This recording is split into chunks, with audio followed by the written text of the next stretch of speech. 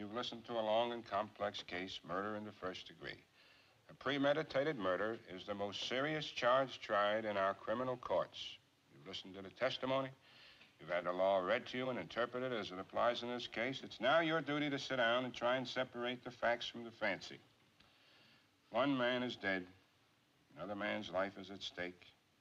If there's a reasonable doubt in your minds as to the guilt of the accused, a reasonable doubt, then you must bring me a verdict of not guilty. Now, if, however, there's no reasonable doubt, then you must, in good conscience, find the accused guilty. However you decide, your verdict must be unanimous. In the event that you find the accused guilty, the bench will not entertain a recommendation for mercy. The death sentence is mandatory in this case. You're faced with a grave responsibility. Thank you, gentlemen. The alternate jurors are excused.